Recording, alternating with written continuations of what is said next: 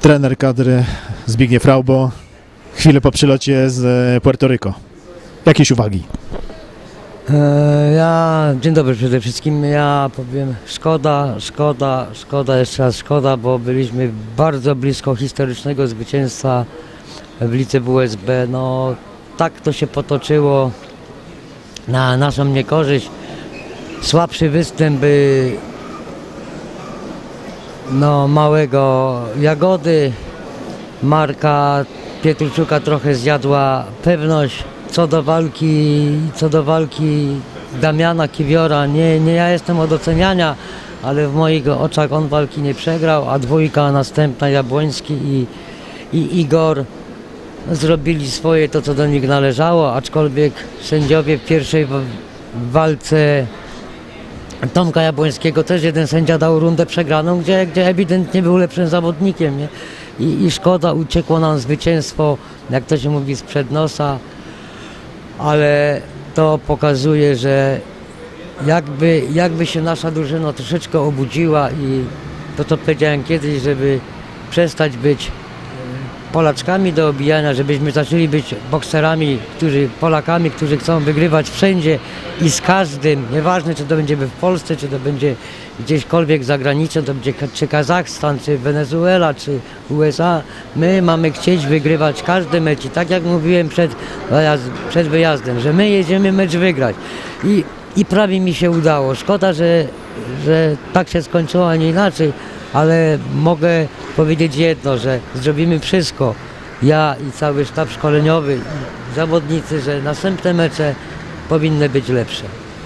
E, Tutaj Igor powiedział jedną sprawę. Czy nie zmieniła się sytuacja, jeżeli chodzi o walkę w ringu? Nie ma podwójnej gardy, ale za to chodzimy na nogach. Są rękawice, które są twardsze, trzeba uważać. Co pan trener, e, jaką koncepcję przewiduje na następne mecze?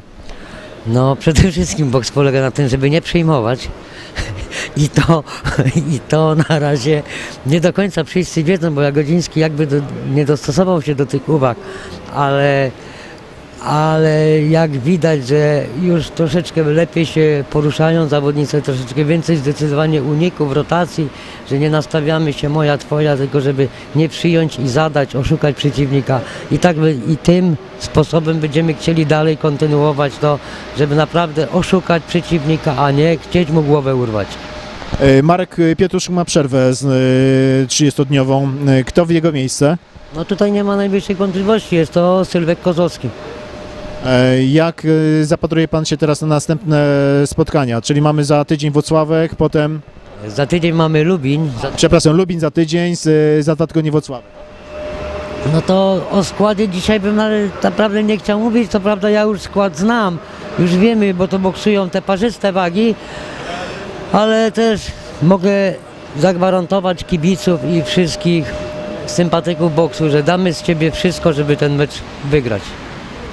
To czekamy w takim układzie na Lubin e, w piątek wieczorem i za dwa tygodnie sobota Włocławek. Możemy zaprosić już teraz kibiców na z, wielkie emocje. No, przewiedzieliście nam naprawdę dużo z ciekawych, ciepłych doznań z Puerto Rico. Dwie wygrane, jeden, jedna prawie wygrana, no i dwie straszne przegrane. No, boks to ma to do siebie, że ten, kto przyjmuje, to przegrywa. I, ale zrobię wszystko, żeby w następnych meczach było lepiej.